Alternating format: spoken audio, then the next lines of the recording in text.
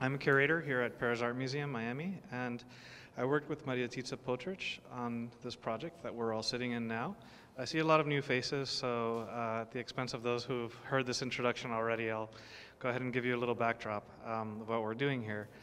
Um, Maria Titsa was traveling through the, through the Amazon uh, several years ago and came across an initiative uh, which is called the Universidade da Floresta, or the School of the Forests, uh, which involved bringing uh, theorists and scientists from all over the world to Acre in the Amazon region to exchange knowledge with uh, the local forest communities there.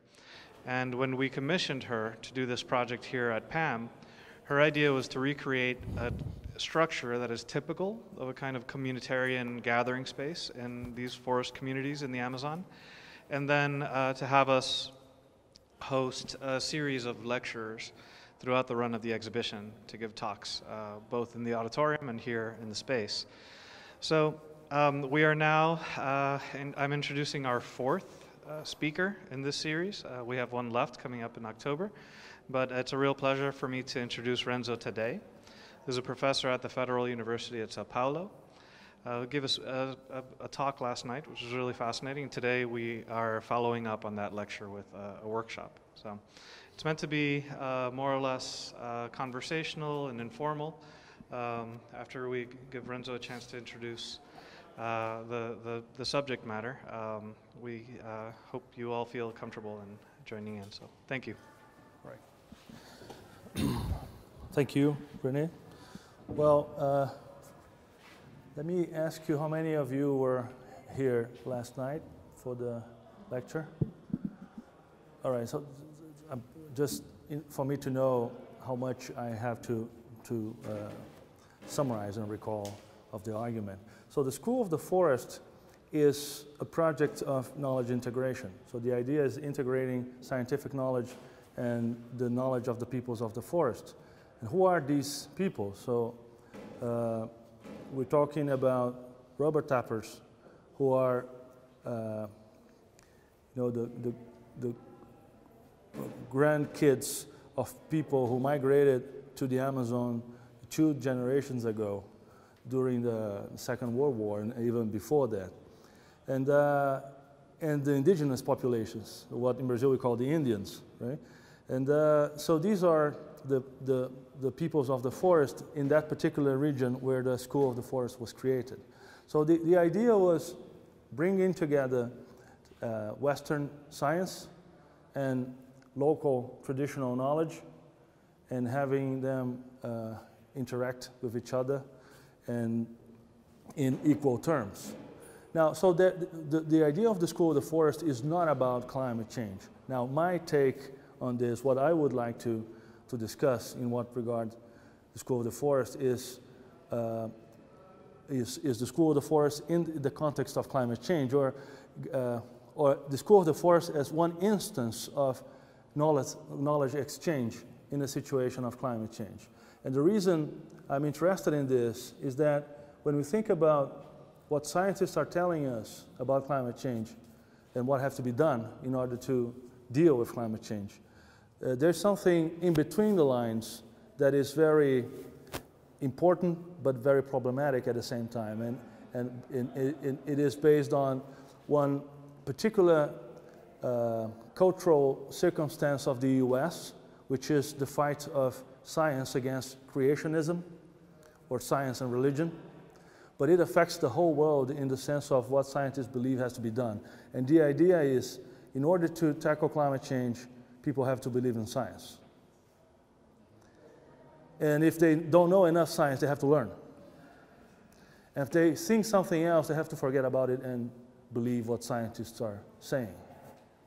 Now, the problem is what happens when you create something like the School of the Forest, where you do have, you know, uh, tribal chiefs and, and indigenous shamans coming, sitting in the same table with scientists, and when they start talking about what is climate change and what has to be done about it.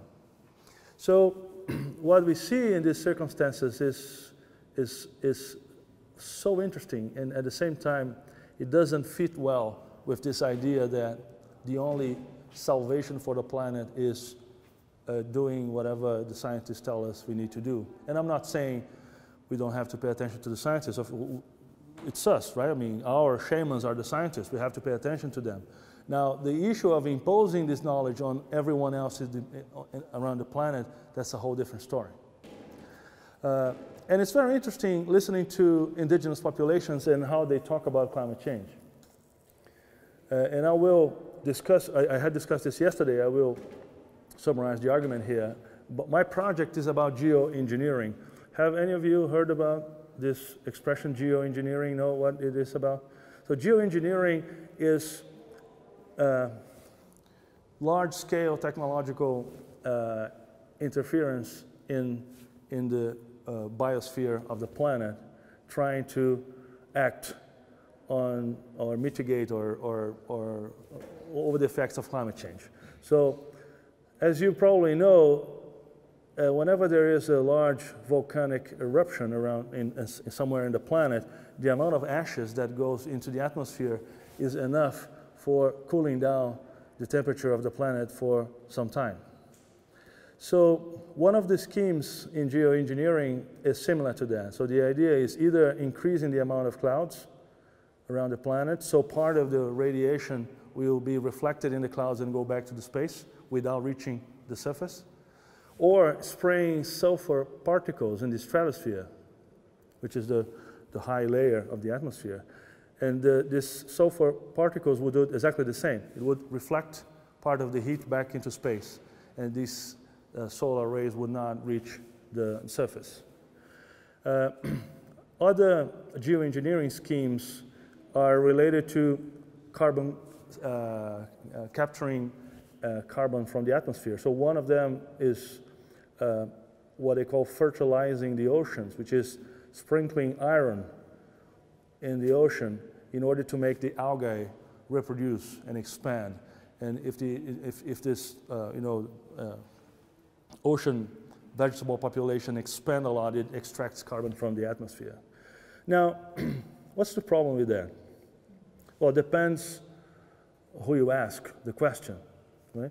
If you ask the questions to, to environmentalists, for instance, or to philosophers, even philosophers of science, what they would say is, well, we don't know enough in order to uh, be sure that there will be no side effects that can be disastrous, right? So the, oh, I, I forgot to mention one of these schemes, and this is the most you know, uh, flamboyant of all of them, which is distributing mirrors uh, uh, in the space. And these mirrors would reflect the, the sun radiation away, and so this would not reach the, the Earth.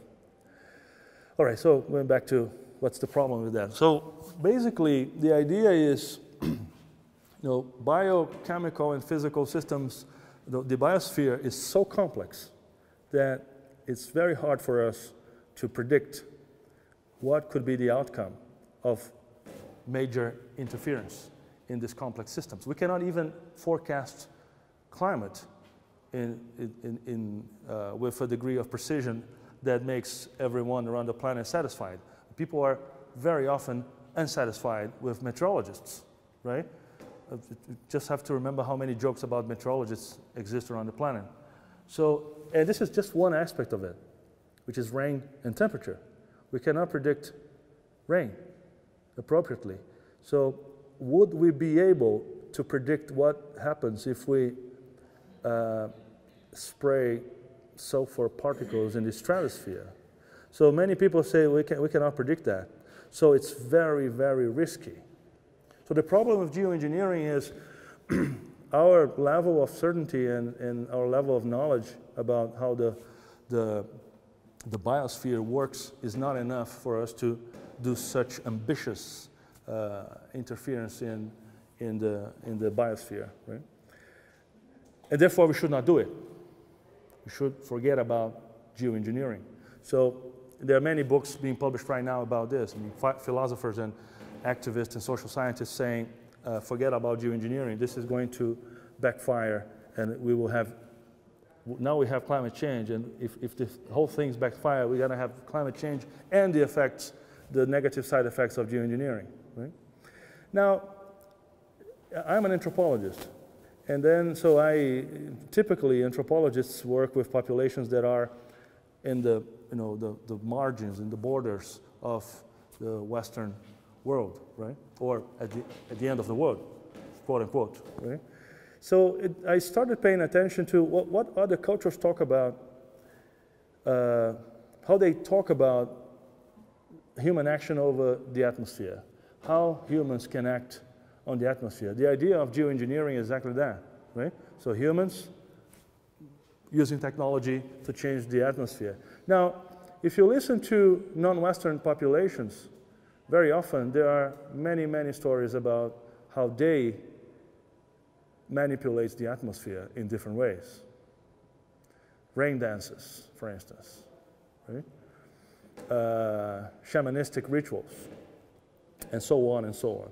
So I decided to understand whether they have the same kind of moral dilemmas that we have when we talk about manipulating the atmosphere. And if they don't have the same dilemmas, why this is so? So, what, what is different in their uh, understanding of the whole thing that makes them uh, relate to the environment in such a different way? So, I, I selected two cases. One is, is in, it's in the Amazon, it's one uh, uh Indian tribe called the Yanomami. They live in the margins, the, the, the, in the frontier between Brazil and Venezuela. But the other group that I'm working with, they are, uh, it's a, it's an Afro-Brazilian religious group called Umbanda.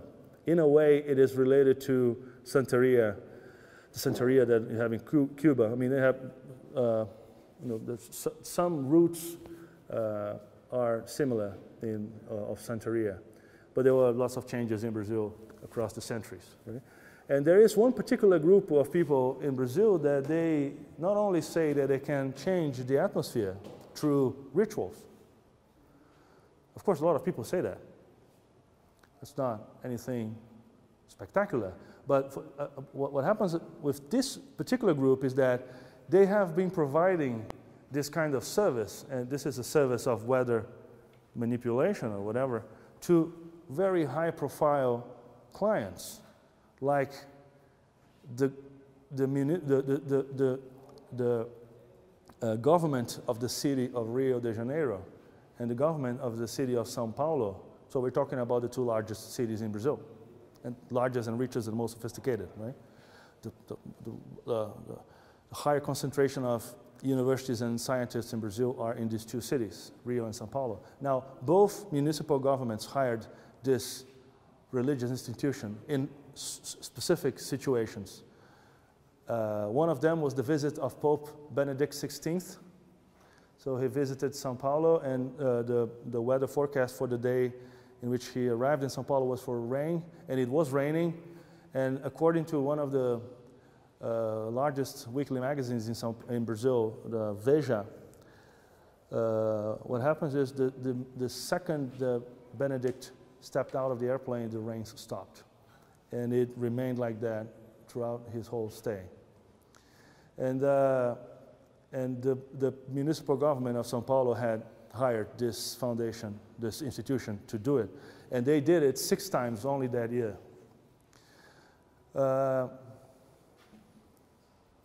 all right, and let, let me go back to the Indians, right?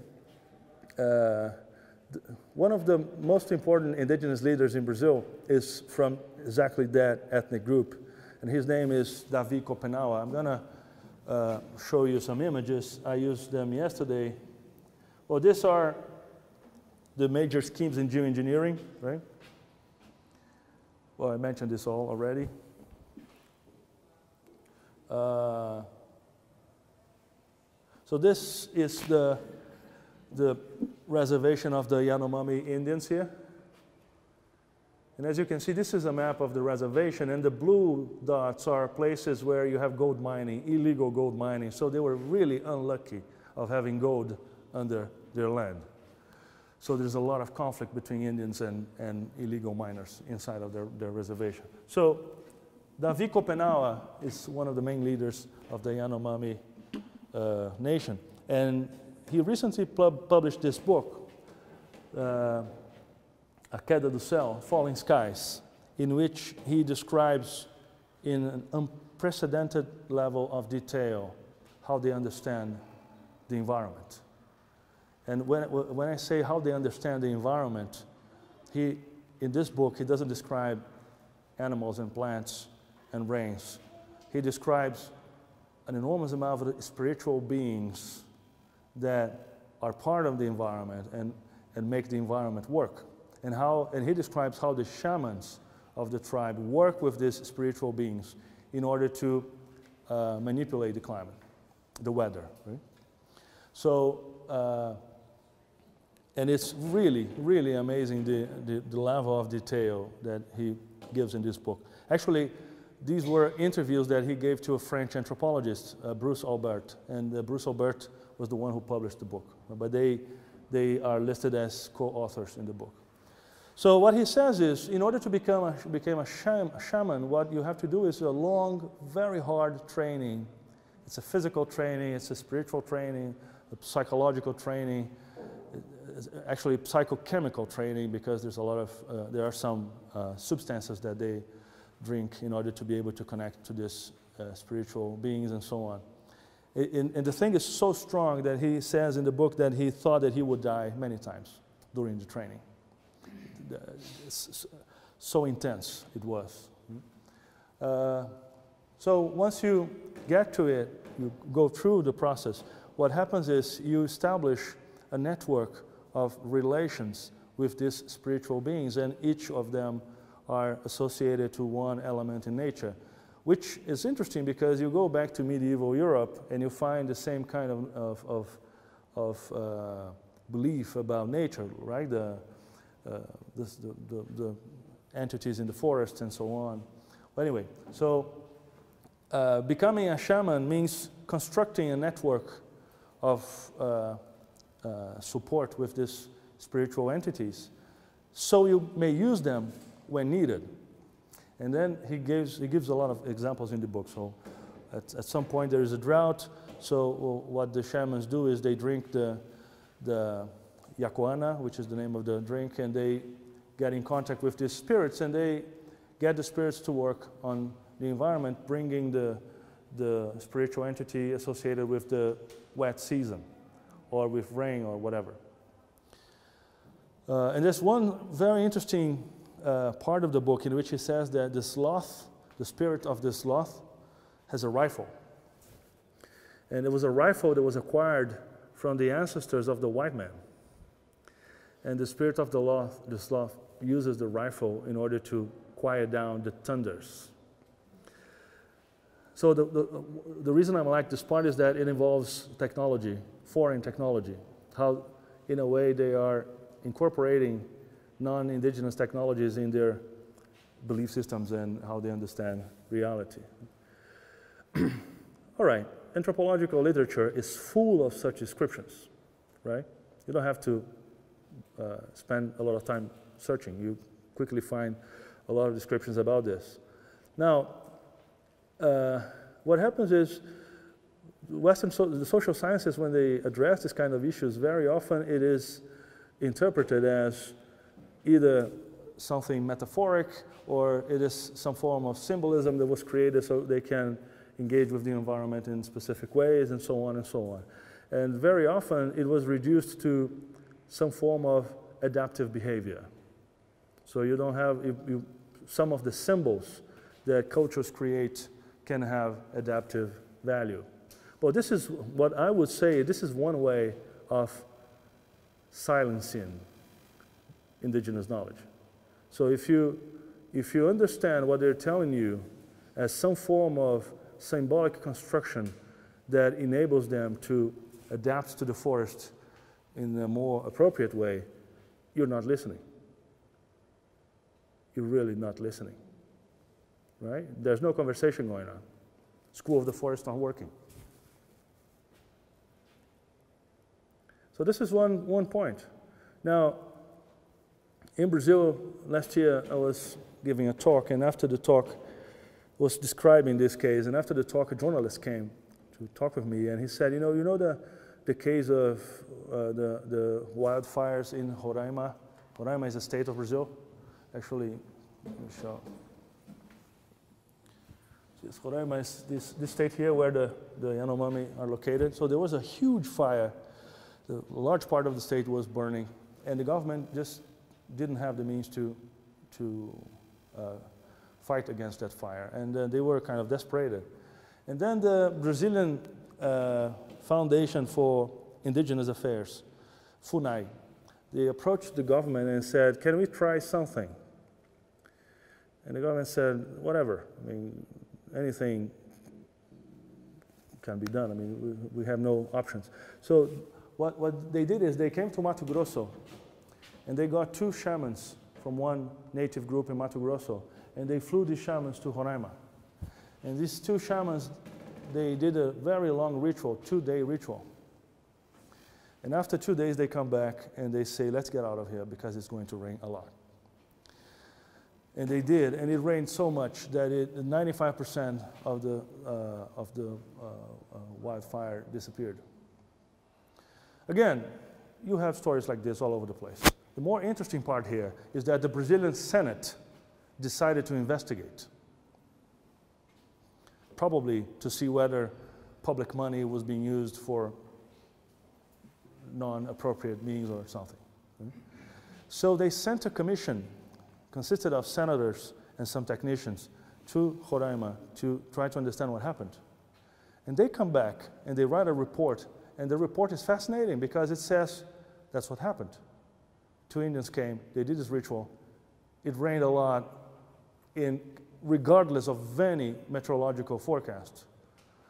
And that's it. There's no, nothing else to say and it was filed in the Library of the Brazilian Congress. So this, this is what I find fascinating, right? I mean, not what indigenous uh, leaders can do, but the relationship we can establish with them, right? So you have the recognition of the highest political scale in Brazil. What about the scientists? All right, let's wait a little bit, right? Now let me show you a little bit more of the other case, which is this, this foundation here. It's called Coral Snake Chief Foundation. So as I said, they're uh, related to the Umbanda tradition. This is the woman who is the medium through which the spirit of the Coral Snake Chief acts. Here are the official documents.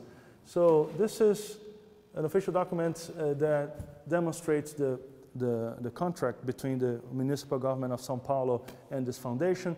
This is Rio Grande do Sul, and these two are Rio de Janeiro. Right? So these contracts do exist indeed. And, uh, you know, evangelical Pentecostal churches are growing in Brazil dramatically in these last two decades, and they tend to be very hostile to African Brazilian uh, groups. So the African Brazilian groups tend to be very discreet in their actions. This is one of the interesting thing about this group of people. They, uh, they go against this tendency, they, they seek constant exposure on the press. And they are always present in very visible situations. So this guy here is Paulo, Fre uh, Paulo Coelho, the author of the book The Alchemist, probably the best-selling book written in Portuguese in history with the medium who received the spirit. And, and Paulo Coelho was the vice president of this foundation for two years, between 2004 and 2006. This is Rock in Rio. It's the largest uh, musical festival that takes place in Brazil since 1985. And this is Roberto Medina and his daughter, and he is the owner of Artplan, the company that organizes Rock in Rio. And he says that his relationship with the coral snake chief is so old. So, I mean, they have been working together for so long, and it's almost like the coral snake chief is his partner in business. Well, they hired the foundation to make sure there's no rain during the concerts. And they have been doing that since 1992, I think. I mean, a long time now. Uh, so what I'm saying, what I'm saying here is, what I'm trying to show you, these are not irrational people. They're not scientists, which means that the test of credibility and validity may be different, but not, they're not irrational. This guy is a millionaire. He makes a lot of money with his business, both in advertisement and also in entertainment. So, this is a news piece on the action of the coral snake chief in the opening ceremony in the 2012 London Olympic Games. So what they're saying here is that the medium, the, the woman was in Dublin in Ireland, and there were, you know, uh, th there was rain coming from the north, and, and sh she diverted this rain to Spain in order to keep London dry for the opening ceremony. And this guy also, he's an award-winning journalist in Brazil. I mean, he's not a, a, a, like a, no one. He's very well known. Uh, now, this is the most interesting part. I, someone told me that they, uh, this, this foundation was a fraud because they had scientists providing them with information. Of course, I, I, I mean, I, it doesn't mean that it's a fraud, but I was very interested in understanding why do they have scientists. And I got the name of the scientists and I went to interview them. And this is one of them. This is one of them like 30 years ago. Uh, so I interviewed all the scientists who provide services to the foundation. They, they do provide services. So what he told me was this. In the 80s, this guy was a professor at the University of São Paulo. He was a part-time professor. And the other half time, he was the, the uh, weather reporter in the newspaper Estado de São Paulo, one of the most important in Brazil. So he was part-time professor, part-time weatherman. And one day, the phone rang in the newsroom, and he picks up the phone, and someone on the other side said, you know, you're the meteorologist, right? And he says, yes. And they ask, what needs to be done in order to stop the cold front that's coming from Argentina and will enter Brazil in the next few days? It's a very unusual question. And he answers, you, don't, I don't know if you know what meteorology does, but we don't stop cold fronts. We kind of describe them. And the guy on the other side of the line says, okay, if you could, what would you do? According to what you know about the atmosphere. And, and, and he says, well, very often, if the, the pressure, if the atmospheric pressure goes up, it is enough for dissolving or weakening cold fronts. That's what science knows. And the guy said, all right, well, next day, the atmospheric pressure over the state of Rio Grande do Sul goes up and the cold front disappears. And then the guy calls again.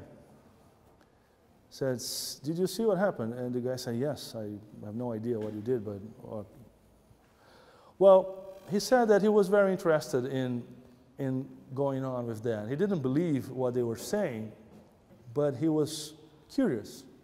And he ended up collaborating for 15 years with the foundation. So the foundation, the people wanted to know what science knew about the atmosphere so they could act on the atmosphere in very precise ways. So do you understand what I'm saying? So he wanted to know what the scientific knowledge talks, tells about the atmosphere, so they could use this knowledge to act on the atmosphere. So it's very different from, you know, uh, Darwinism and creationism, because these are so different from each other. There's no possible contact. Here, it's very different, because what the coral snake chief was doing is, is he was using science in order to, that's what he says he was doing, right? Using science in order to act and manipulate the atmosphere in more precise ways. So sometimes, once I, I asked, what, what happens if the coral snake chief didn't have scientific advisement? And the answer uh, was, well, probably the actions would not be very precise and perhaps not as efficient.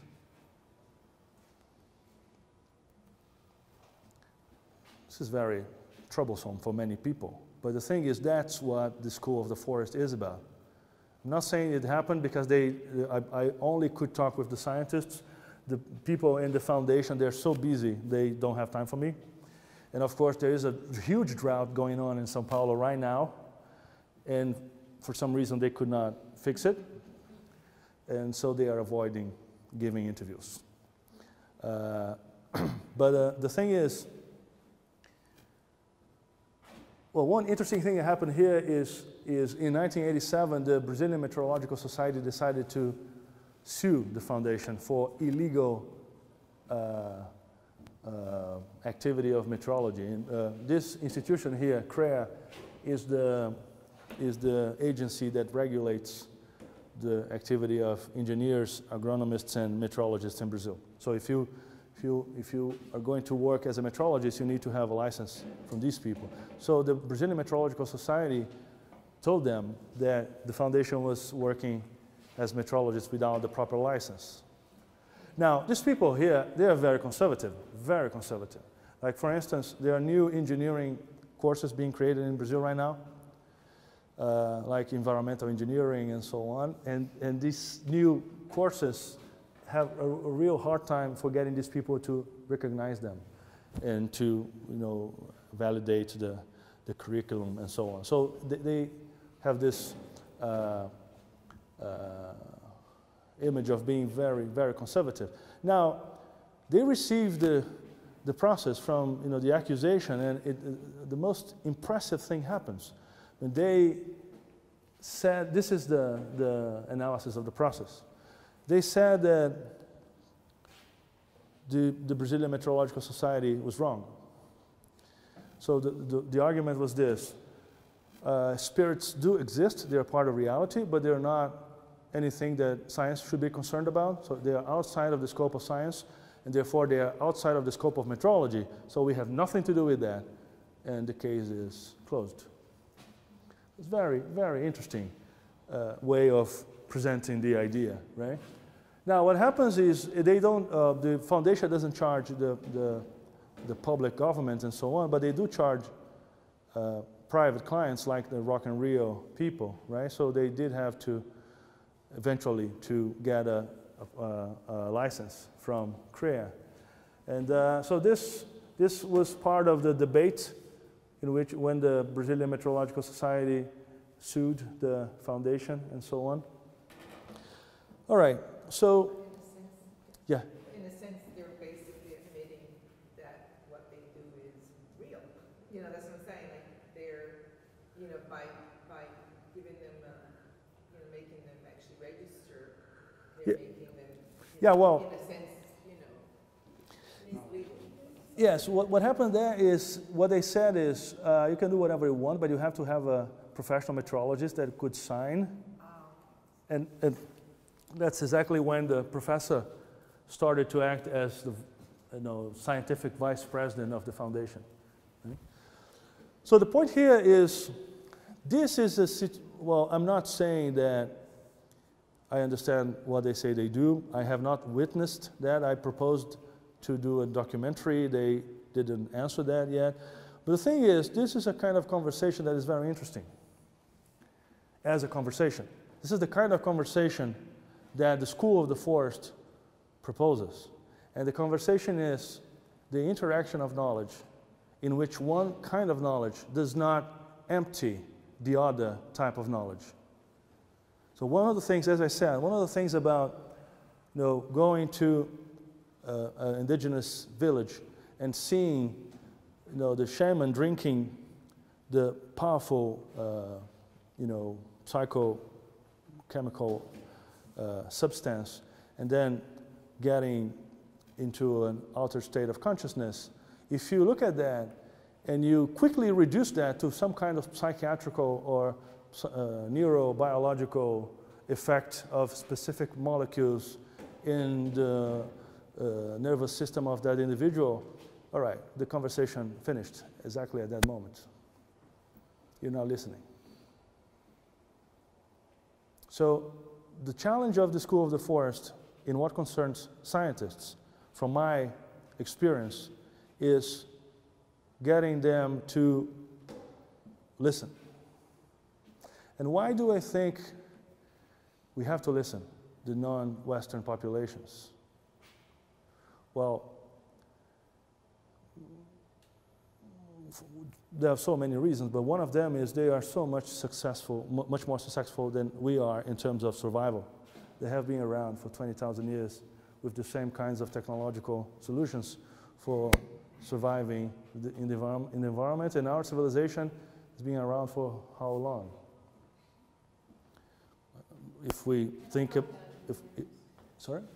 Can I ask? Sure, sure. Uh, you mentioned um, Sao Paulo, um, and uh, you've been there, but also in the news, it's like very clear that there's enormous drought. And as you said, they don't know what to do, so they try to solve the problem by cleaning the water, getting deep water, etc., etc. Um, also, the, the um, um, shamanistic, can I call it like that, groups or shamans don't seem to be able to do something about it because the problem is somewhere, I don't know, you know, or they don't seem to be able to tackle it. We have been uh, talking in Sao Paulo with scientists, uh, Antonio Donato Nobre, you know him, and uh, Gerardo Moss, uh, who have this, not only them, but more scientists, this theory of the flying rivers where Yes. more water is being produced by the forest and by the rivers, and there, and then there's a whole system, and that system, uh, so the, the, the clouds, let's say, go to the ocean, bump back and come to the continent, and if there's enough mass, it creates rain, but because of the unbalance, because of the deforestation, which is also involving this gold digging, of course, the balance is sort of lost, and that is potentially one of the reasons why it doesn't properly rain in Sao Paulo for maybe five or six years already, no? That's right.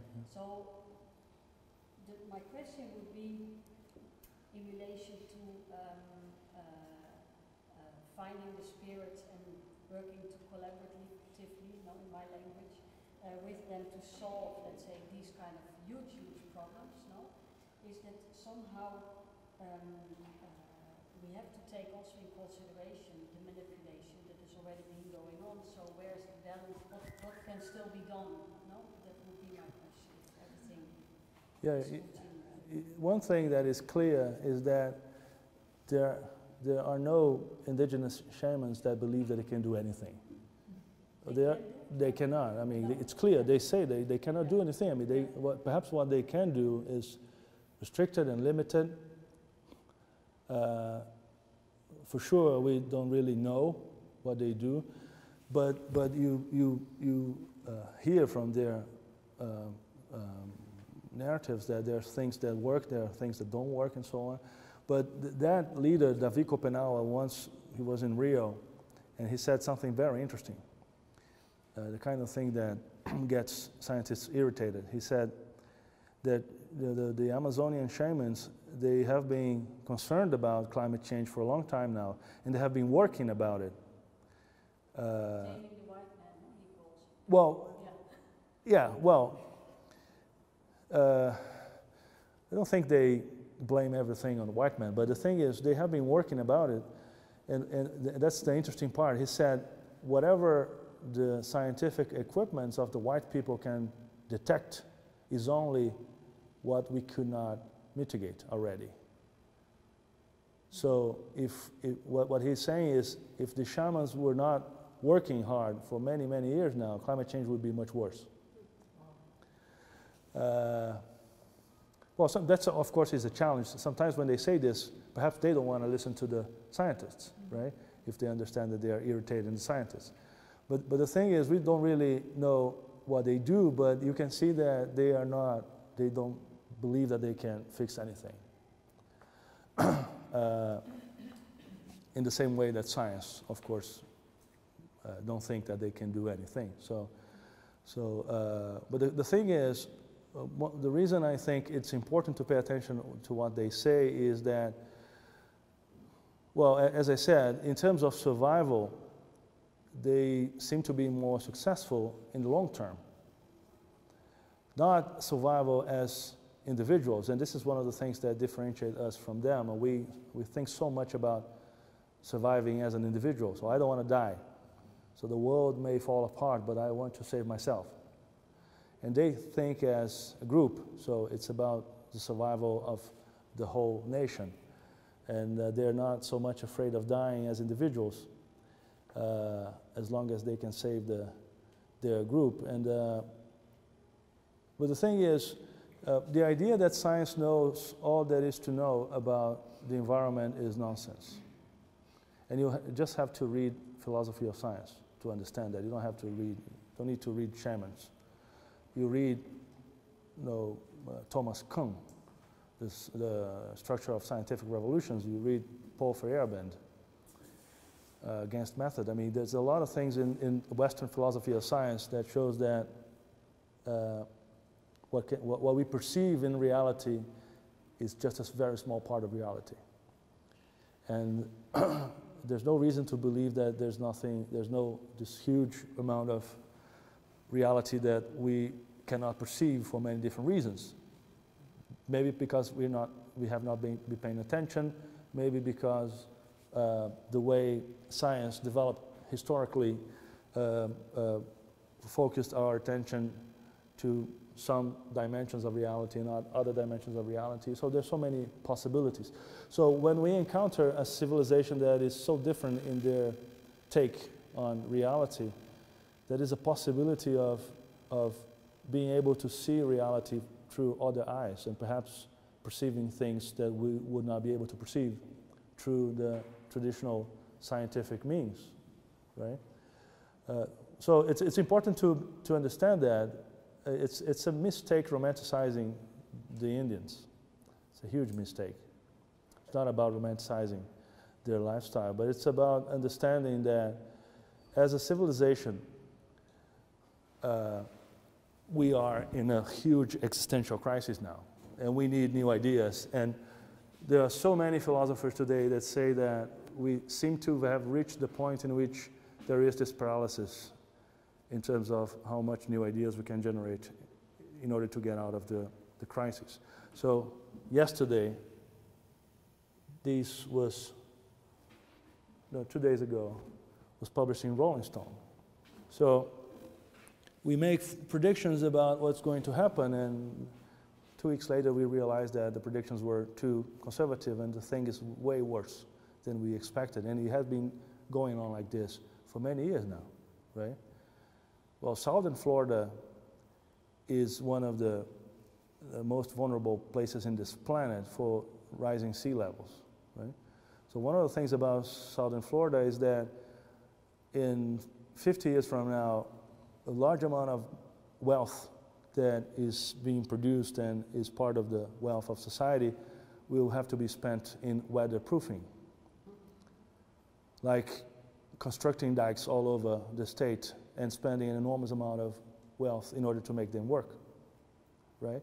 So uh, Clive Hamilton, a philosopher from Australia, has been talking about this. One of the things about climate change is that a lot of uh, wealth that we produce now, we will have to spend just for weatherproofing our lives. So the, the, the, the level of uh, well-being will be reduced dramatically just because of that, because we have to prevent waters from flooding whole Florida. so this is the kind of things. Uh, now, in, in, in, terms of the Indians, Eduardo Viveiros de Castro, a very prominent, prominent uh, anthropologist from Brazil, he says that if there is someone, some a group, uh, a, you know, group of people who are specialists in end of the world, it's the Indians. They have gone through so many ends of the world. I mean, their world started to end in 1492, and it has been ending again and again and again since then.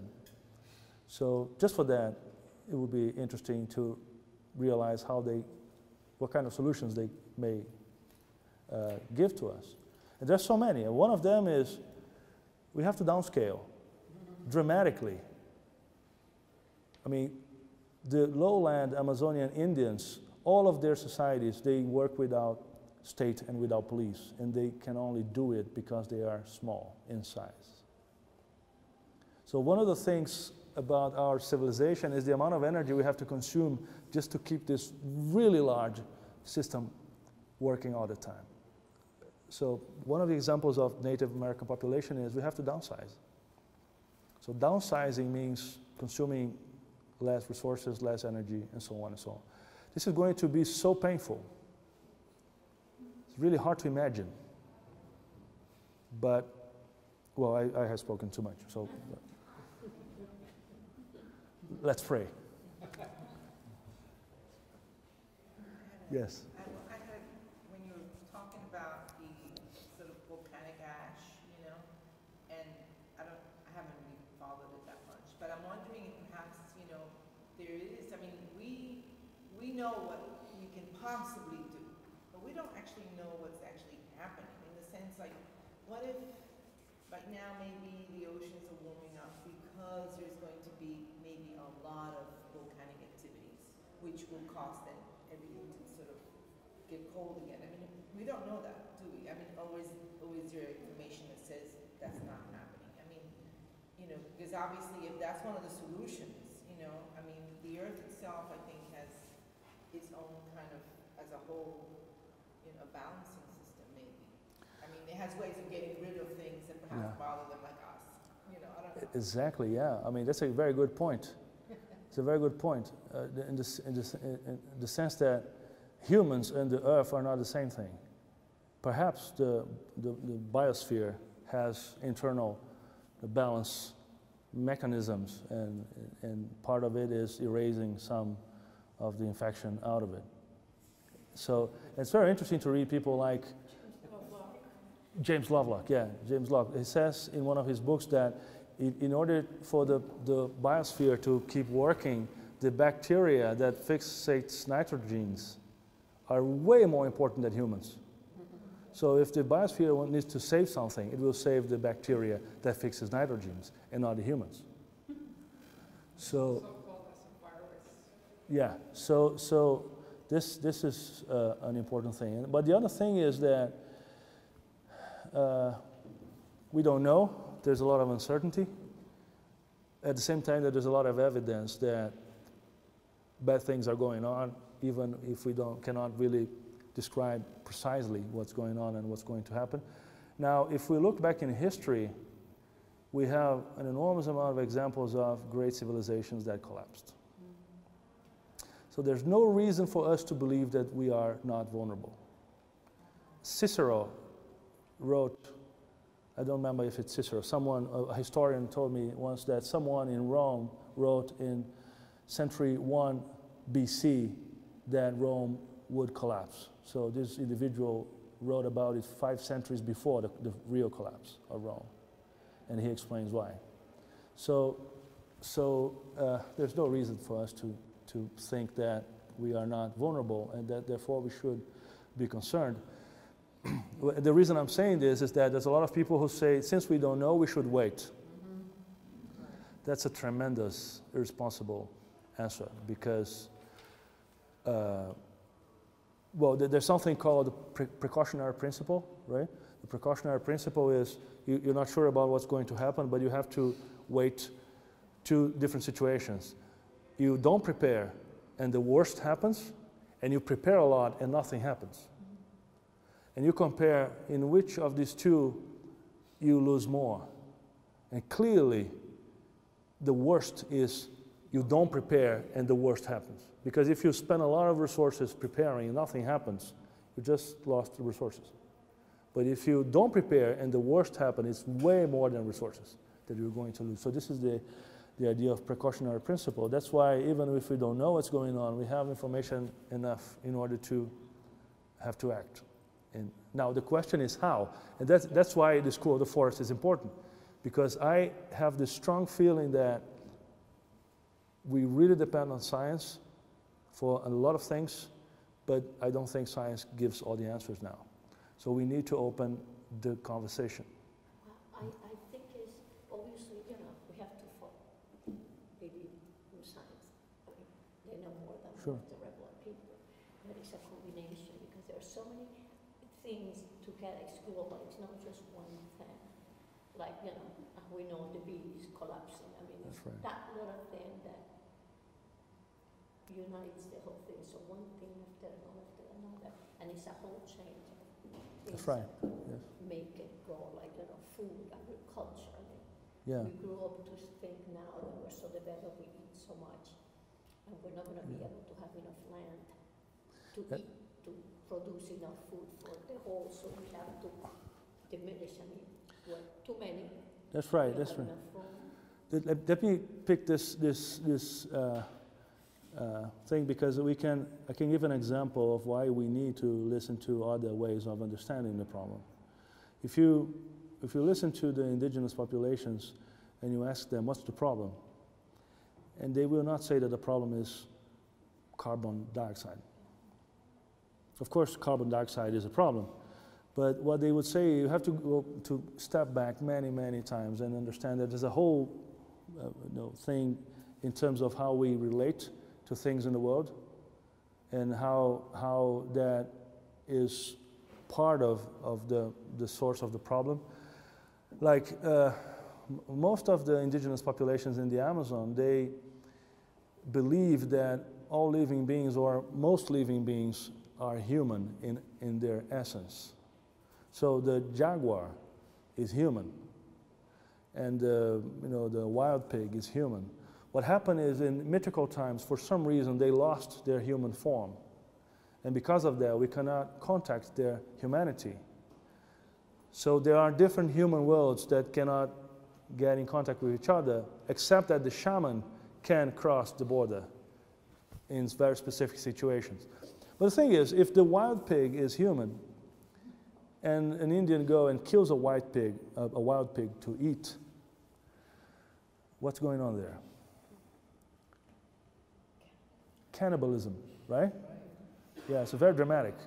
So there are different ways, different technologies, spiritual technologies for turning that human body into food. Now, the thing is, when, when an Indian uh, kills a wild pig, one of the things about killing another human individual is that you have to show respect. And you have to show a lot of respect, actually. So there are proper ways of killing, there are proper ways of dealing with the dead body. And one of the things about it is, is you don't do it for any other things except eating. Survival. Yeah, so, so, but the thing is, this, this idea of respect is so important. Then you have one of these Indians coming to the city, and he looks at what we do with our food, and they say that we are so disrespectful. The amount of garbage we produce is so uncivilized that they cannot believe it. Now, imagine, let's do a, a- a mental exercise. Imagine that you get out of this museum and you start treating each tree as an individual and not as a species. Is there a tree in this planet that you treat as an individual? If you have a garden, perhaps, right? But the thing is, it's, it's, it's amazing how you, we go be, you go beyond your garden and, and the whole planet turns into economic resource, right? And that's something Indians don't do because it's all human. So Indians take care of the forest not because the forest is nice, not because the forest is pretty, because it's social. So uh, the relationship between one Indian and a tree is a social relation. There are moral codes, there are ethical implications, and this is what regulates that relation. What happened in the scientific revolution? Well, it, it was like that in, in medieval Europe, right? So in medieval Europe, if there was a drought, people would understand that as what? Divine punishment, right? The interesting thing about that is a strong connection between human action and the environment. A direct connection, right? You don't act properly, you have punishment in the form of a drought. Then the scientific revolution of the 16th century comes. What happens? You have people like Galileo, Newton, Boyle, and so many others saying, you have nothing to do with that. It rains regardless of you. You can think whatever you think, you can do whatever you want. It's going to rain, or we're going to have droughts, and you have nothing to do with that. Because the rain is just the functioning of some molecules. There's nothing alive in the rain. It's just chemistry. Well, that was everything that the, the growing bourgeoisie of the industrial European cities wanted to hear, because that's what transformed the whole planet into economic resource. So when science, what science did, the scientific revolution was emptying everything in the planet from having any kind of spiritual meaning, except humans. And not all humans, except some kinds of humans, right? and that was very convenient, as I said, because everything turned into economic resource. And therefore, everything became vulnerable to exploitation and devastation. Now, isn't directly related with Christianity? uh, not directly, right? Uh, it, it- of course, there was a connection with Christianity in the sense that the debates that took place in, in Religion, maybe I should say more generally. yeah, no, in Latin America, there were very interesting debates in terms of whether the Indians were humans or animals. right? And so if they were humans, they were to be converted. If they were animals, they could be killed with no sin committed and so on. So, but the, so this, the thing was already, well, it comes back to Aristotle. Aristotle said that animals are there to be exploited. There's a classic story. Francis Galton, the cousin of Charles Darwin and the inventor of so-called science of eugenics, one day he did a lot of thought experiments, and he did exactly the thought experiment you suggested, which is to go out and reanimate the universe. And it drove him crazy. He said, I got only as far as the hansom cab on the corner. And when he started seeing the horse there as an animated being, it made him feel insane. And that degree of rationalization, uh, the degree to which, you know, the scientific framework has imposed itself. Um, and it was also evident at the beginning of your talk where, you know, you say this happened and without uh, sort of reflexively, sometimes you say, oh, well, how silly of them to believe that they had that power, right? And so we have that frame of science which has bled that other knowledge out. That's right, that's right, yeah. But now we have, uh, it's interesting that science has turned around and is pushing for uh, regulating the environment and realizing that we do have a major effect. This very museum was built on stilts, you know, because of climate change. If you Mhm. look at this museum, it's on stilts because there was recognition of uh, the rising of the ocean. However, we now have legislators in Tallahassee who say, as a defense I am not, that's what our governor says, and that's what uh, Marco Rubio says. I am not a scientist, and that's my defense for not accepting that humans have an effect on. Uh, so it's it's it's very. I always think when they say that, well, so you don't take any vaccinations when you get sick, you don't go to the hospital because you don't believe in. You're not a scientist, so you won't accept what science says might cure you of a disease. You know. Of course, they do go. They are believers in science when it benefits them directly, just they don't want to accept it. So I, just think that now science is turning towards more of an acceptance of what these, um, these indigenous people were talking about. There's kind of, and then there's the other part of the population that doesn't want to hear it because it's going to affect their daily lives. Mm. They don't want to be bothered by uh, warnings global change and the effects that humans have. That's, I'm not a scientist, Mm. is the defense. That's right. So interesting. What are they doing in Brazil, you know, the government, what are they doing to prevent deforestation? Yeah, but let me, let me comment on that first because, you know, in a way, we're kind of, science is such a big, complex, Absolutely. multifaceted But thing, in right? terms of global warming, there is a, the preponderance, Yeah, yeah. like ninety-nine percent, Sure, sure. scientists. Now, now the thing is, we're kind of, we are victims of the idea of identity and, and or of the idea that we have to choose, when in fact we don't have to choose, right? At, at some point, Manuela Carneiro da Cunha, who was here in the first uh, uh, uh, meeting of this series of seminars with her husband, Mauro Almeida, she was being interviewed on Brazilian television. She is a specialist in the uh, Amazonian Indians. And, and there was the typical question that journalists ask to anthropologists, which is, you know, you see an Indian dressing in white clothes, white people clothes. What happened? Is it this the individual is not an Indian anymore? I mean, got de-Indianized or something? And her answer was fascinating, because the answer was depending on who you're asking this question to. Because if you're asking the Indian, what happens when he dresses like the white man? He will say, yes, he turned into a white man. But then when he undresses, he turns into Indian again. Right? So the, the, the anxiety of the journalist had to do with this idea of identity and essence, which in general Indians don't have. This is a paranoia that we have, but they don't. So uh, Mauro was also walking in the forest with biologists, and there was an Indian, there was a guide. You cannot get into the forest without a guide, of course, right? Otherwise, you don't get out. uh, and at some point, the guide says to er- all of them, You see this ant here and this vine. So, this ant and the vine are the same thing. The ant turns into vine. And, and the biologists said, "Uh, Come on, right? I mean, animal, vegetable, not the same. I mean, there's no way an ant can turn into a vine. And the Indian said, No, no, they do. And they walk uh, further, and uh, the guide says exactly the same thing. This other ant, this other type of vine, they turn into each other and so on. And uh, so, very quickly, the biologists diagnosed that as well, the knowledge system, or their uh, system belief, or whatever, right?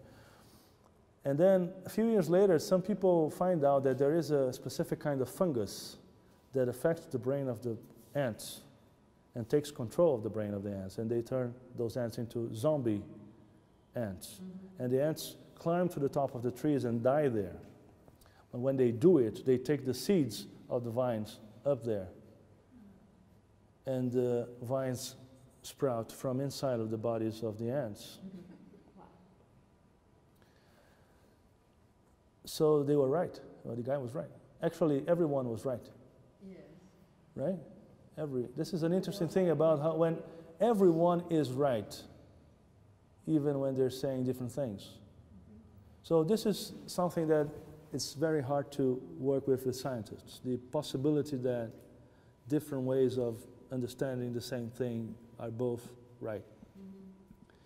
And uh, the idea that the municipal government hires a religious institution to produce rains in a place like Sao Paulo, heavily industrialized and sophisticated and so on, shows that politicians are much more pragmatic and they don't care about conceptual validation.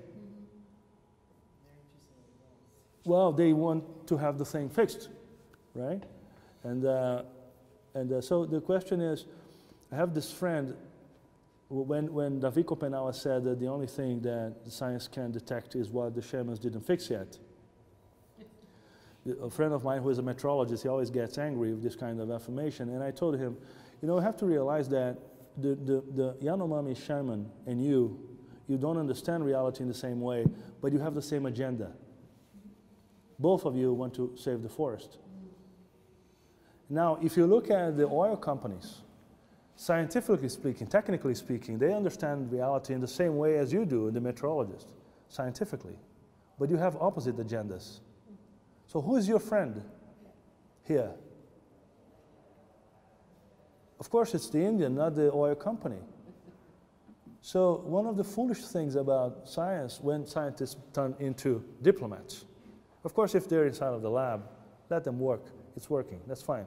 But when they get out and they have to interact, and the School of the Forest is one of these places of interaction, then one of the things we have to convince them is that they have to give up on this conceptual validity that comes only from the scientific method and engage in, in, in cross pollination with other forms of, of knowledge and so on. They may even, of course, as I said, it's not only the politicians that are pragmatic, pharmaceutical companies are also too, because they go to the Amazon and they want to listen to the, the Indians. That, they definitely want to. Yeah, they want to listen to the Indians because they want the Indians to show them where the, the, the, the plants from which they extract the substances are, right? So there's a lot there.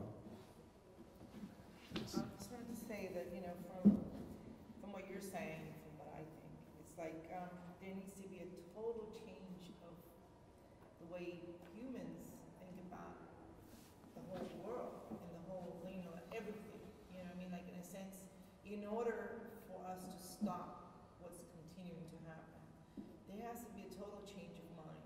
You know, like, we have to really begin to see ourselves as part of the, of the, of the earth, of the universe, and that everything is important, you know, from the ants to the rocks, to everything that's out there in order for our survival.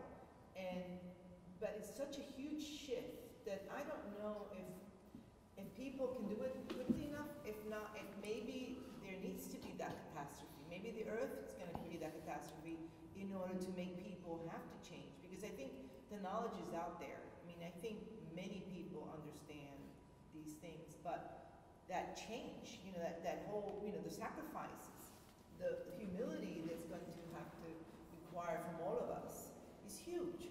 And, you know, it's not something that most of us can do without really big push, you know, so, you know, you wonder, it's like, is this part of the whole plan, you know, is, is the, is, is it the fact that we're going downhill, you know, a, a way, in a way to cause us to have to, because our survival is gonna depend on how we see ourselves in relationship to everything else.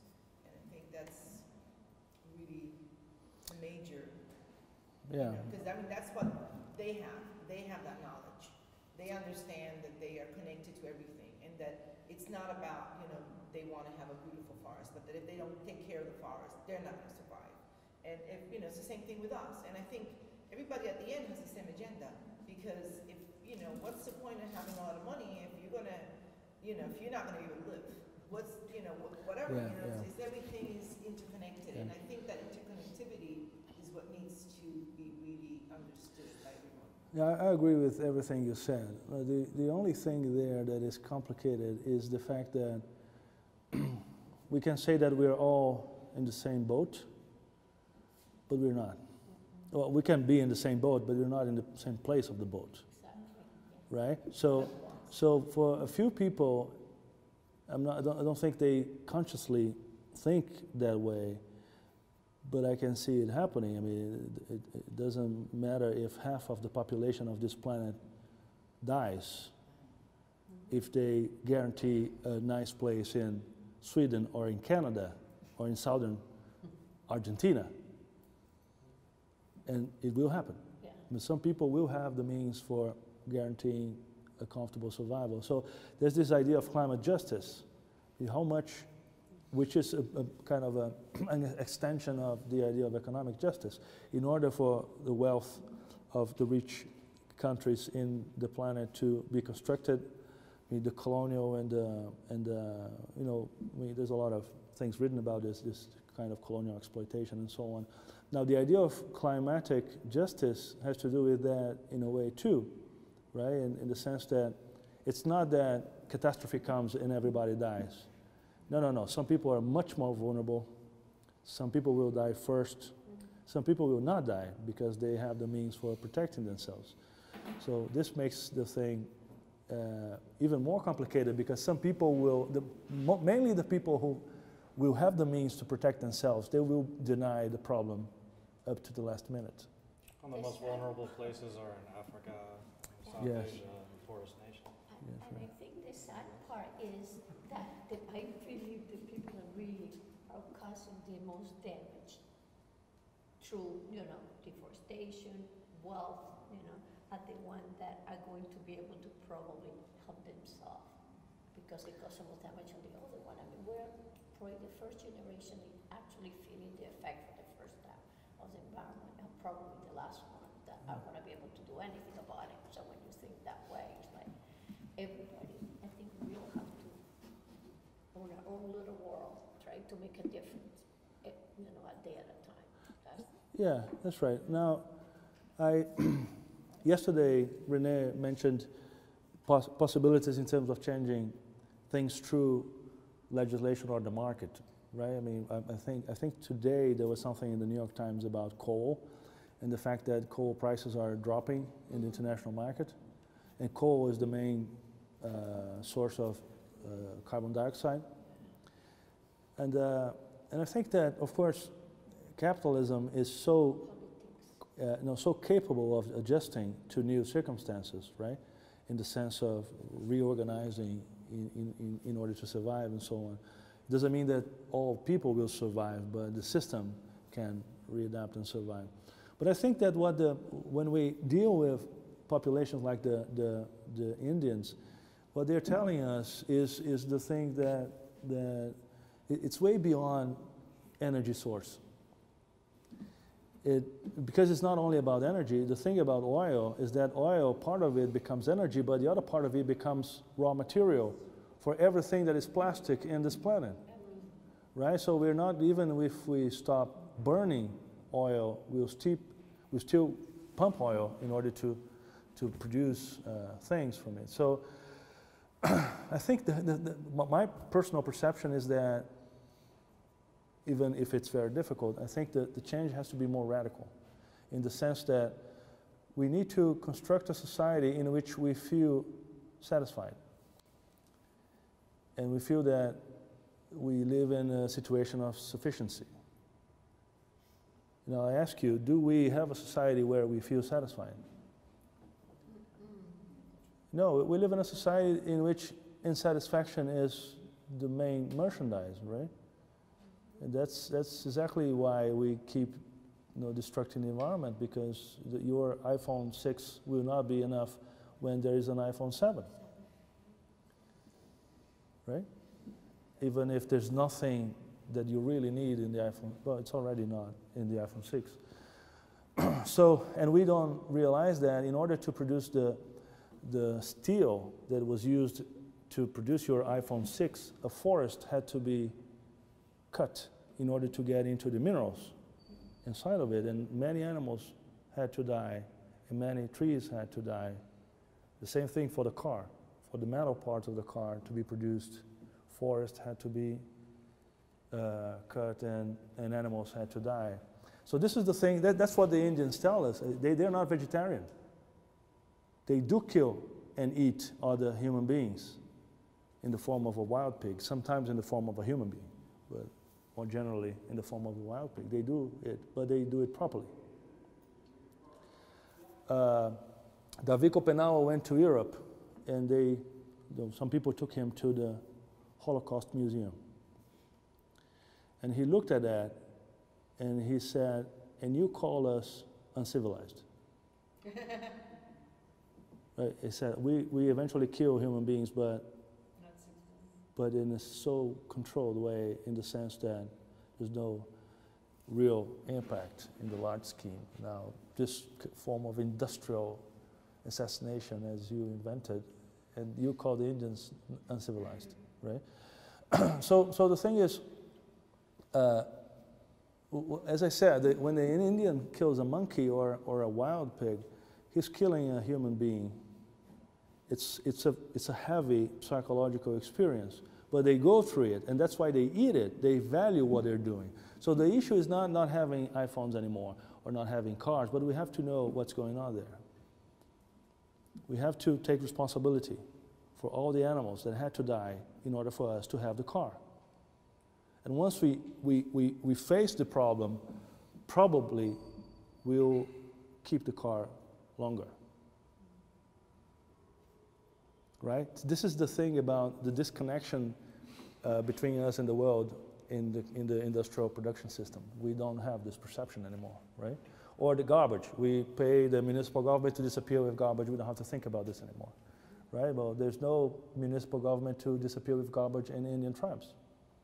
There's no throwing away, right? So they have to face it. They have to think about it. They have to deal with their leftovers in responsible ways. That's what I said, a downscaling will have to take place in very radical ways. We have to be able to perceive what's what we're doing in this planet as individuals and as societies. So we have to take everything uh, that uh, is in between us, I mean, that prevents us from perceiving our effects on reality, and we have to start facing it. So uh, one of the you know, provocations I do with my students is that I said, no, you don't have to stop eating beef, but it would be very nice if in the package of your T-bone steak, the name of the cow came printed. You have to know who you're eating, right?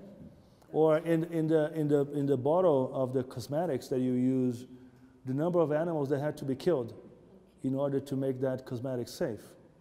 Perhaps the name of each one of the animals that had to be killed in order to make that safe. You have to take responsibility.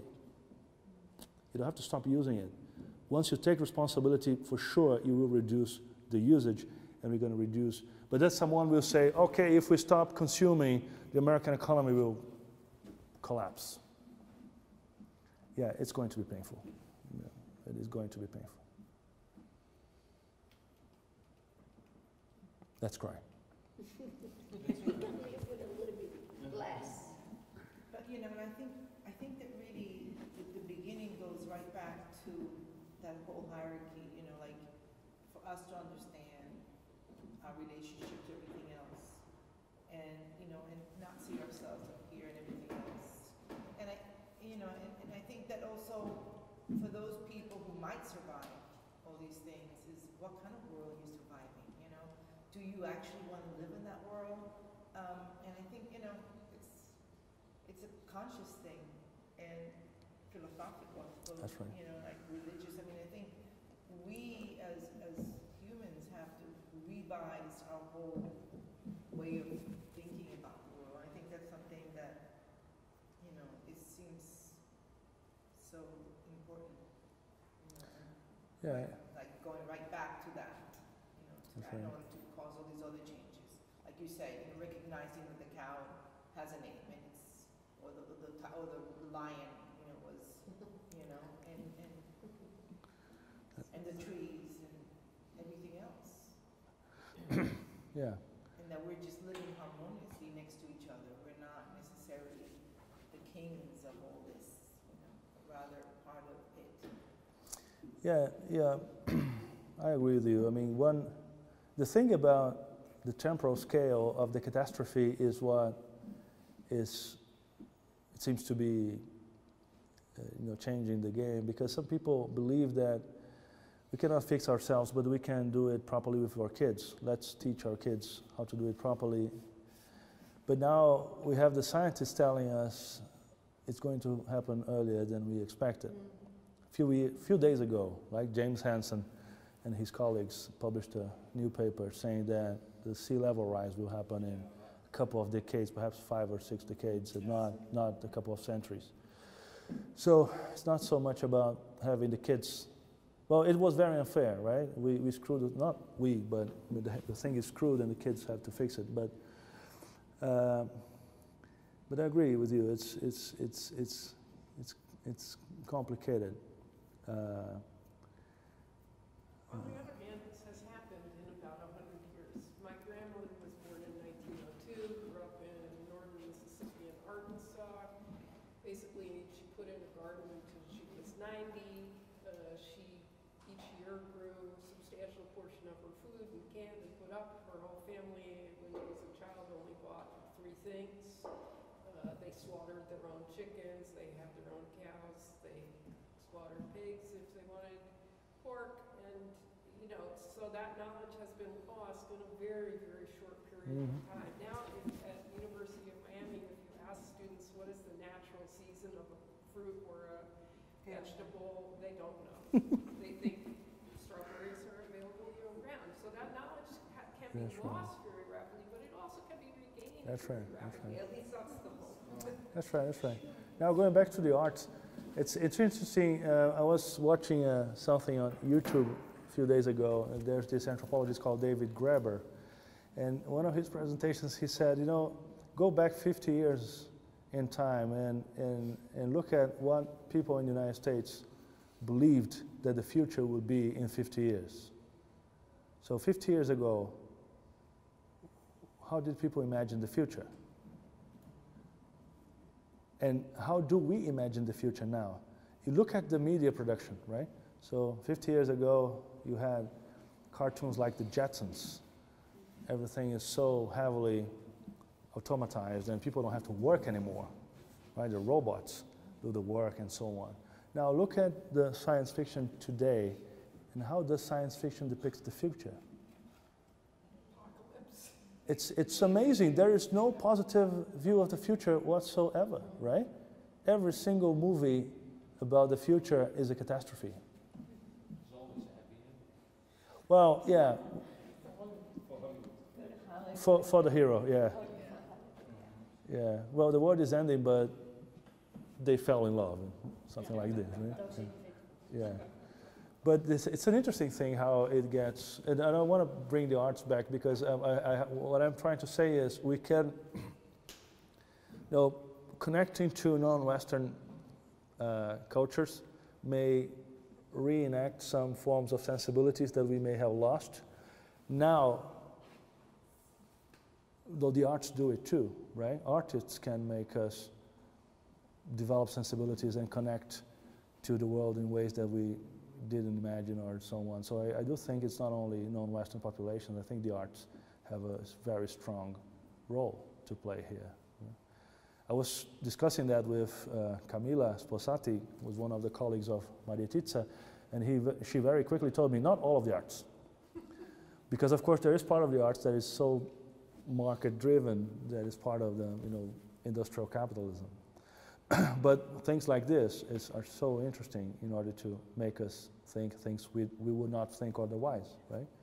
In terms of confronting us with, thing, with stimuli that we would not have in other circumstances. So I do think the artists have a strong, important role in this too.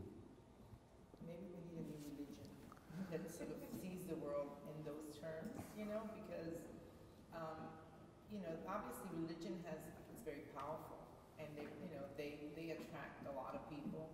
I mean, a lot of people just really need to be told, rather than you know too many black, you know, gray areas. And perhaps that's one of the things that needs to happen. Is like, you know, religion right now is in a down, downturn in a certain way, you know, but perhaps what it needs is to have that favor that it had, you know, the early days of Christianity or whatever else that actually drives people to to make those sacrifices, to actually refuse, to actually save the world, you know?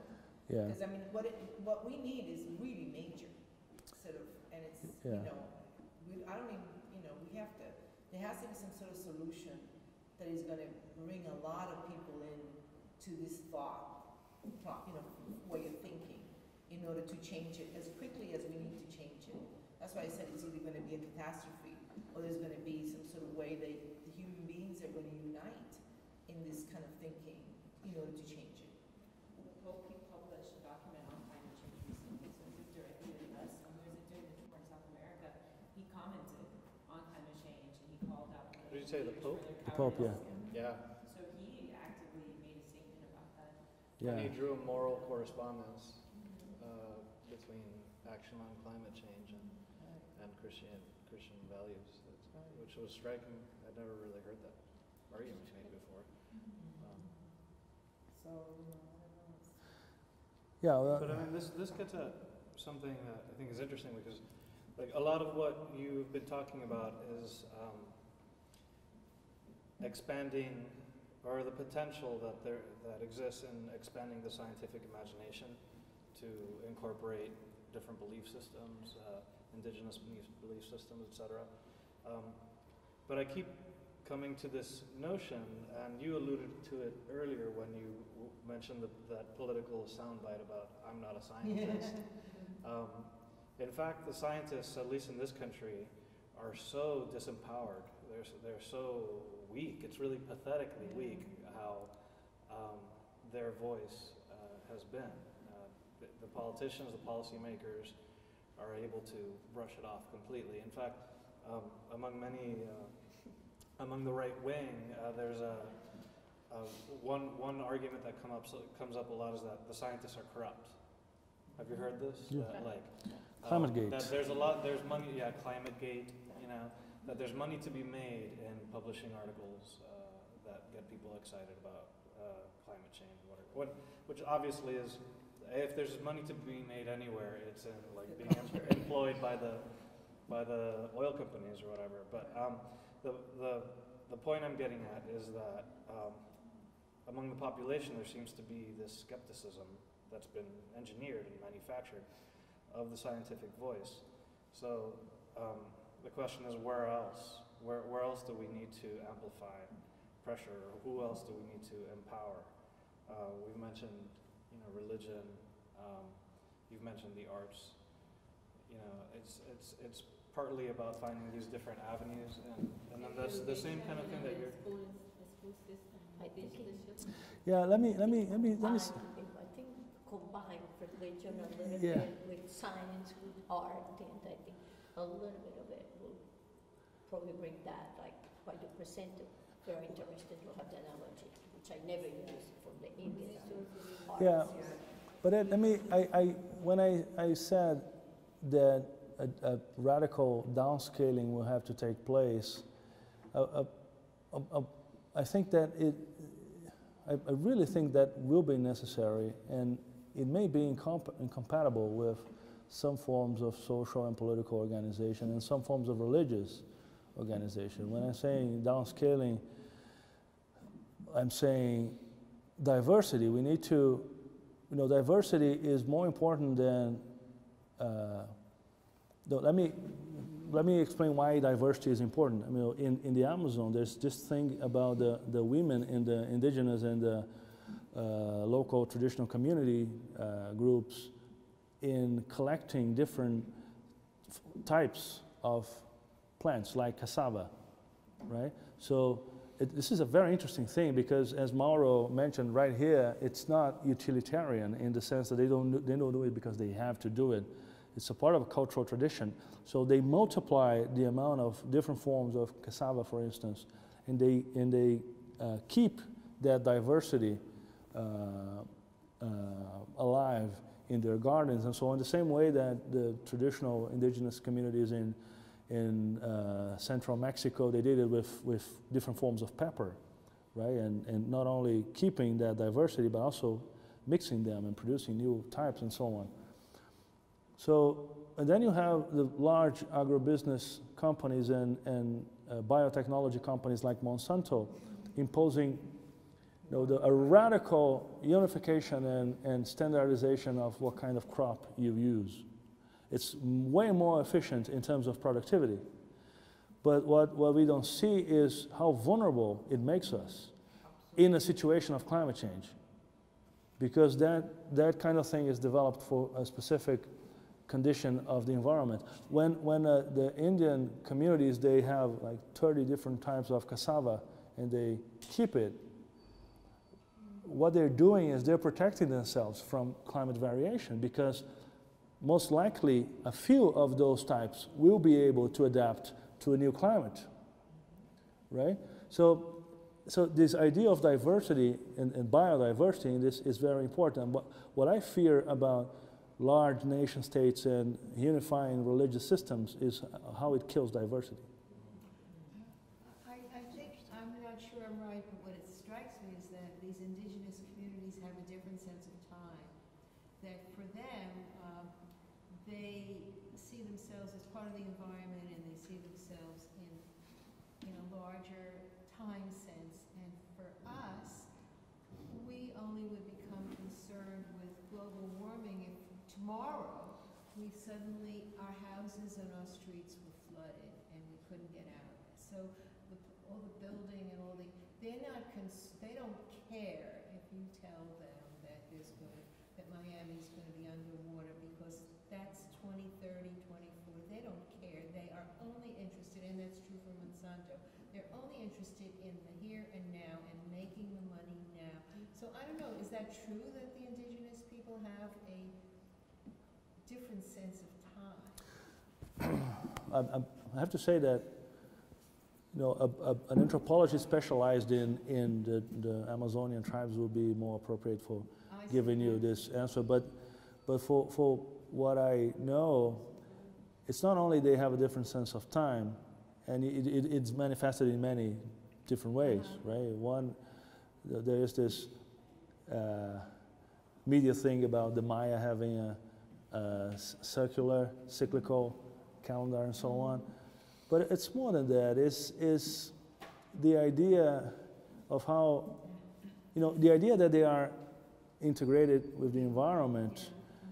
It, it, it does happen, but it happens in a very special way. You know, most of these language, the native language, don't have a word for nature. And why would that be? Why would they don't have a word for nature? Because everything's nature. No, because nothing is nature. It's not because everything is nature. It's because nothing is nature. Do you understand what I'm saying? If the tree is a human being, if the wild pig is a human being, there's no nature. Everything is society. So, so that makes a lot of difference. Oh, we are all part of the same thing. Yeah. That makes them respect the, the environment. Well, if, if, they, if they behave improperly, they will be punished, either by the elders of the tribe or by the uh, spiritual beings. It's not that, I mean, I'm not saying that all Indians are good individuals. Of course, there's a lot of social control and so on, as in any place, right?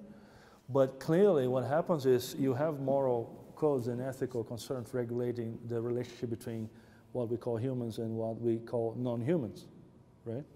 and that, that makes a difference. Now, uh, so going back to the issue of diversity, uh, when I say a downscaling, I'm, I'm, I'm really believe that nation states, as we have them, are not appropriate for dealing with climate change. I hope I'm not arrested. Yeah, but the, let me give you an example. Think about the Sahara Desert. There is people living inside of the Sahara Desert.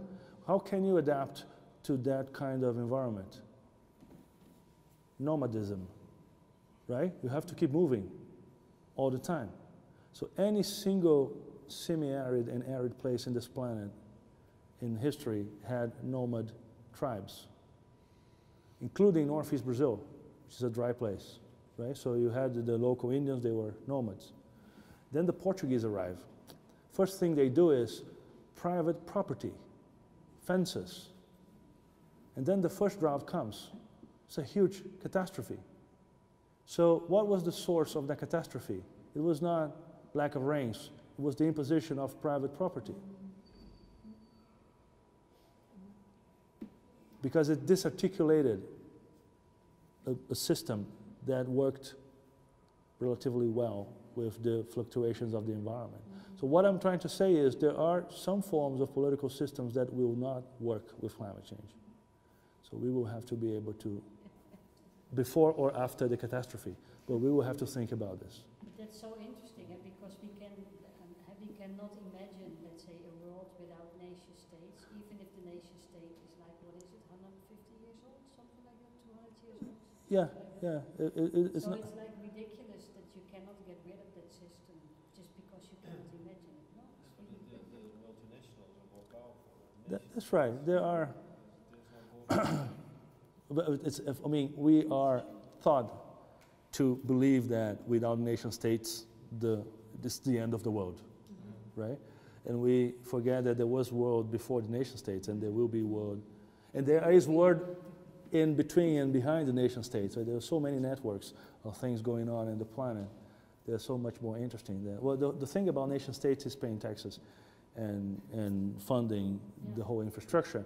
What I say a, a, a huge downscale has to pay, take place, is rethinking all that. Right, and uh, in the sense that we will still have the networks, we will have, have to make internet work globally, but the way we're going to fund that may not require necessarily a nation state. And the way we're going to do governance over resources don't need necessarily a nation state. And that's one part, place in which the Native Americans are so interesting in terms of uh, uh, provoking us, which is the fact that they don't have a state, right? So they, they are capable of existing and surviving without states for thousands of years. Yes. On Mauro and his, I'm sorry. Oh, sorry. I was just, just gonna fin- just finish on that point. Mauro, in his talk uh, made this really interesting point about how, um, specifically with respect to Acre in the Amazon, um, the Brazilian federal government was having much difficulty policing that area as far as illegal logging and uh, even oil companies and pharmaceuticals moving in, um, because they were using federal police and they were just uh, unable to do it. But at one point, there was a shift in policy where they empowered the tribes to hmm protect the lands themselves, and they were actually very effective at beating, beating out the, these illegal loggers, uh, much more effective than the, than the big mighty nation state. So that was a pretty interesting point. That's right. I mean, think about garbage production. What is, how capable is the government of doing surveillance on every single situation where you produce garbage? It's impossible. So the, the cooperation of people is required. So there's so there's so many things that happen. The world, a large part of the world, uh, keeps going not because the states are there, but because we make it. Uh, there are situations where the state collapses and life goes on. Uh, not everywhere, but there are situations where it happens, right? So, uh, but it's it's very complicated because. Because the whole thing is set up in order to depend on the nation states, right? So we, we are led to believe that it's absolutely impossible to do anything without nation states. And of course, it is possible. One of the struggles of indigenous populations in Brazil now is exactly the fact that half of them don't want to be part of Brazil, and the other half want to change Brazil in order to make room for them. So those who don't want to be part of Brazil are the quote unquote uncontacted tribes. So they are absolutely aware that what's going on outside and they don't want it. And that's it. But then you have all the other tribes that have some form of relationship with the Brazilian government. But the problem is the Brazilian legislation treats the Indians as childs who are not capable of making decisions. So they need to have some kind of other institution that does it for them. So they, it, they treat the Indians as incapable or as, as children. So the thing is, how to create room in a place like Brazil for someone who wants to be different. I mean, the amount of problems is enormous, and this is related to nation state because, well, when an Indian goes and kills another Indian, can you prosecute the Indian using the laws that were created for the white people? No. Okay. But then you are going to have someone else in Brazil saying, okay, I want that privilege too. I wanted to be able to kill my neighbor. and I, I, I want to have a special law for me. Because that's, we have been doing this for centuries. We have been killing each other. We want to keep doing it. We don't want you, white people, to mess with us. So you, you see the, the, the amount of trouble it causes because the nation state means homogenizing and equalizing everyone. There's no room for difference, which means that there's no room for Indians in Western type nation states. But is, is the Indian problem, you know, quote unquote, really going right back to the fact that, you know, the white man came into the Indian territory, stole his land, and therefore, you know, they, they can't deal with the fact that these are not children. These people were actually owners of the land, and in order for us admit that, then we have to admit that we stole the land. And I think that right there is a problem that happens with not just the Indians in, in Europe, know, Sure, in sure. Brazil, but all over the world, Sure, all the native people, because it requires, you know, for us to actually take their, both their beliefs and, you know, take them seriously, requires us to respect them and to understand what we did. And that is something that most nation states are not going to do. That's right, So that's that's right. really, so we, we're, you know, we're, we've got a really big problem in that sense, because I think these people do have a lot to say, you know, but first we have, we have to wanna believe it, and we wanna have to sort of, um, subscribe to it without, you know, and how do you do it without actually, you know, the situation, you know, that, that they don't want to do that for those particular reasons, you know? We did it here in America. We got all Yeah. their land, put it in little spaces, and, uh, I mean, that's and still now. going on everywhere, Australia, Exactly. New Zealand. Yeah, You know, all over the world, you have that situation Okay. where, you know, the, the indigenous people were displaced or killed and, Uh, yeah.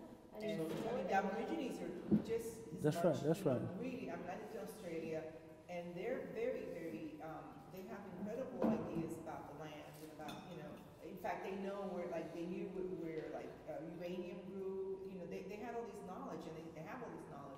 Same thing with New Zealanders, you know, the Maoris, and their idea of like land ownership, when the whites came, you know, they, they, they would sign off, sure, you know, nobody owns the land, you know, so, you know, but we're, we're back into that situation that, you know, to take, to sort of really want to understand and believe and bring them into the conversation, we have to first acknowledge. Yeah, that's why, that's why I, I, I, again, I mentioned downscaling. One of the things about, well, the Indians don't have a term for nature, they also don't have a term for Indian. Of course, they're not Indian for them, right? They do have a term for white, but they, they, the term they decided to use, most of them in the Amazon decided to use for white is the term enemy. So they, enemy, enemy, the term, the, the concept of enemy was the one that they believed fit better, best to the whites. So, so very often they refer to the whites as enemies. But, the, but well, the enemy, enemy, they don't see enemy as we do because enemy is not someone to be destroyed. Enemy is someone to be maintained, to be kept, because it, it, it's part of how reality keeps being generated and constructed. Right? So even So need the enemy as well. you need the enemy. You need a friend, but you need the enemy as well, right? And of course, between friend and enemy, the white look like enemy more than friend. But you, but the thing is, uh, so what I what I think is places like Brazil, in 200 years from now, my forecast is that if we're successful in adapting, we will have to turn into 200 nations, not one nation. As I said, I mean, the, never, it never occurred to the Indians that they had to unite and to create the United Nations of Indians of the Amazon. That is unthinkable. They keep difference. So one of the things about climate change is that it is foolish to believe that we are going to find one solution that will be good for everyone.